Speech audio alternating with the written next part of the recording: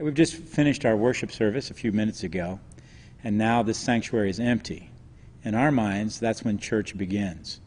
You see, we consider Goodlettsville Church a place to belong, a place to grow, and finally, a place to serve. You see, our Christian service, giving our lives for the Lord, is what He's called us to. I'm kind of tired of churches thinking the end goal of church is another Bible study. We study the Bible so that we can be obedient to what He's called us to do.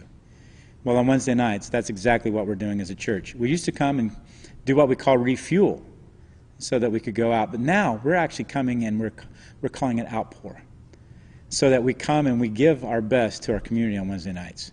I encourage you to be a part of that. We're identifying areas where we can go and serve our community on Wednesday nights. We'll come together, we'll eat, we'll have a short worship service, and then we'll go into the community and serve in all different ways. If you have an idea of how we can serve, let us know.